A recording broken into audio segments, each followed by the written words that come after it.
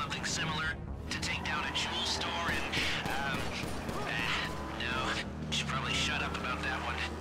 Or save it for the book I write.